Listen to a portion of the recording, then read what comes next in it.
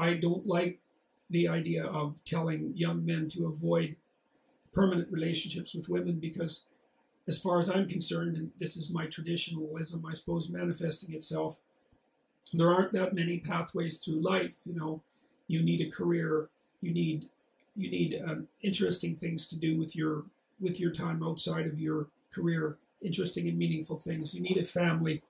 You need an intimate relationship to twine yourself together with someone else so that well, so that you're protected during times of crisis and able to celebrate during times of joy and and and so that you set up a stable structure so that you can have children and and and have them feel uh, secure and, and able to play.